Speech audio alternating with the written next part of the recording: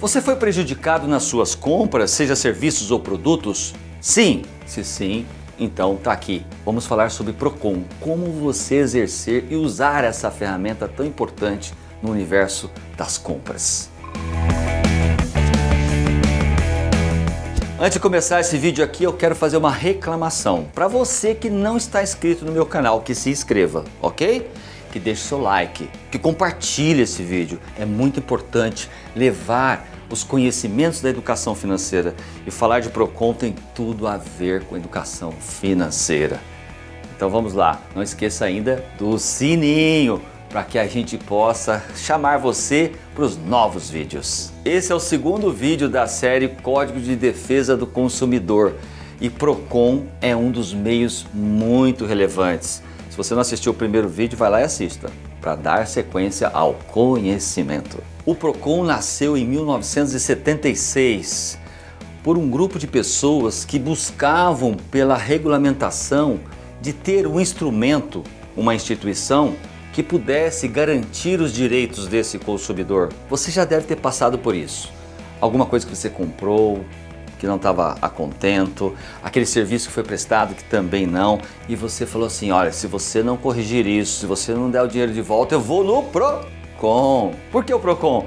Porque ele harmoniza tudo isso, ele concilia. É aquele agente conciliador que vai buscar o verdadeiro direito, porque nem sempre nós consumidores estamos com todo esse direito também, né? Vamos lá. Tem muitas pessoas que exageram, mas na grande maioria é necessário essa proteção sim. Para você acionar o Procon é simples. Olha só, aqui no canal de Vista é prestação de serviço mesmo. Vou deixar aqui na descrição o link para você clicar e já saber onde procurar na sua cidade. Se a sua cidade não tem, certamente a cidade vizinha terá. Além de aplicar as determinações do Código de Defesa do Consumidor, CDC, o Procon tem outras atividades que você vai conhecer. Vamos ver esse quadro aqui.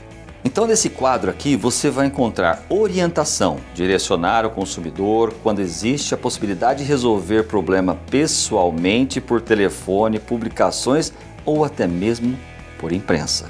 Atendimento presencial ou através de reclamação formal protocolada no órgão para exigir manifesto da empresa em prol de prontamente solucionar a demanda do consumidor. Olha esse aqui, conciliação ocorre quando, diante do registro de reclamação do consumidor, o fornecedor é intimado a uma audiência para tentativa de conciliação. Fiscalização quando existe a recorrência de reclamações de diversos consumidores. O PROCON instaura uma apuração que dá início ao processo administrativo. Estudos, pesquisas e projetos são feitos para acompanhar as oscilações de mercado e para comparações de preços e qualidade dos produtos. Aí, para finalizar, repressão. Isso é importante. Aplicação da penalidade administrativa, caso a conclusão do processo identifique ofensa ao CDC, o Código de Defesa do Consumidor. Então, todos nós devemos buscar por esse direito, o direito do consumidor. É onde realmente você poderá proteger de vez o seu recurso financeiro, aquele dinheiro que você ganha, aquele dinheiro que você gasta, como eu vou fazer daqui para frente. O Procon é uma instituição federal com atuação estadual e municipal. Vamos ver melhor isso. No âmbito estadual, cuida de denúncias e fatos graves envolvendo a violação dos direitos de vários consumidores. É quando a gente tem uma comunidade de pessoas reclamando de alguma coisa. Lógico, aí você trabalha no nível estadual. No municipal, deve ser procurado quando o consumidor tiver seu direito pessoal violado. Não se trata, nesse caso, de uma quantidade de pessoas, e sim o próprio indivíduo. Olha só, na qualidade de profissional da educação financeira, são muitas as parcerias que a educação financeira tem feito junto aos PROCONs. Eu cito um deles em Minas Gerais, em Juiz de Fora, que tem lá nossos amigos, o Marcos, que é um dos nossos grandes coordenadores dos workshops, das palestras, dos cursos, das orientações e aí a educação financeira é imprescindível para aqueles consumidores que perderam o seu controle efetivamente financeiro e estão numa situação difícil. Muitos dos PROCONs em suas localidades estão sendo procurados para que possam levar a educação financeira e isso é uma realidade, porque grande parte da população brasileira não foi educada financeiramente. E lógico, com essa ausência fica mais difícil da gente ter um custo versus benefício bem adequado e equilibrado.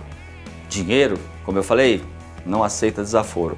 Por isso, vamos buscar, sem dúvida alguma, o PROCON da nossa cidade. Depois dessas informações sobre o PROCON, eu pergunto, qual sua experiência com o Procon? Eu gostaria da sua contribuição nesse vídeo, que colocasse a sua mensagem, relatasse, vai ajudar as pessoas que nunca usaram desse benefício. Por que não, né?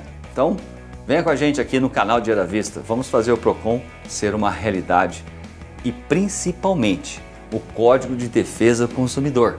Porque se você lê-lo, você vai entender tudo e aí o mecanismo PROCON será muito bem acionado por você e por todos. E não para por aqui não, hein? Tem mais um vídeo dessa série e vou falar sobre Reclame Aqui. Você já usou? Não? Não perca. Até lá!